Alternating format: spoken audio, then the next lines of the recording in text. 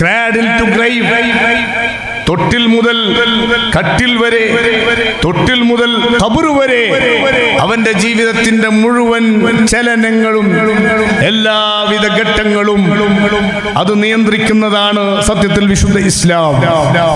ഇസ്ലാമിലേക്ക് കടന്നു വരുന്ന ഒരാൾ ആദ്യമായി പ്രഖ്യാപിക്കുന്നത് അഷ്ഹദു അന്ന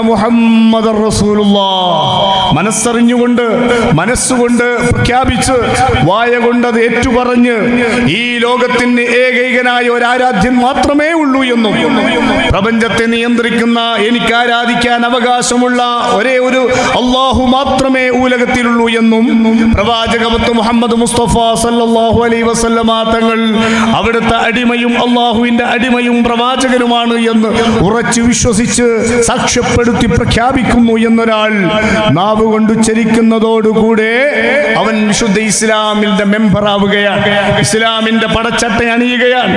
ആ സംസ്കാരം ഏറ്റെടുക്കുകയാണ്.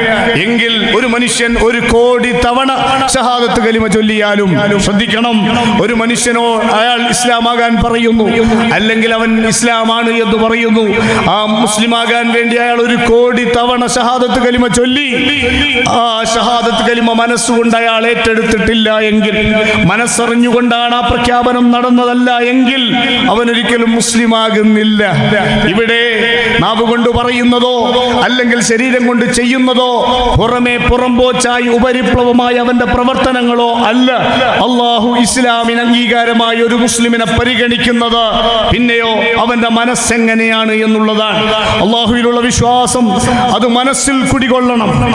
ഈ പ്രപഞ്ചത്തിന് ഏകദൈവം മാത്രമേ ഉള്ളൂ.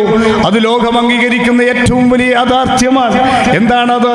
പ്രപഞ്ചം എന്ന് പറയുന്നത് വലിയൊരു ലോകമാണ്.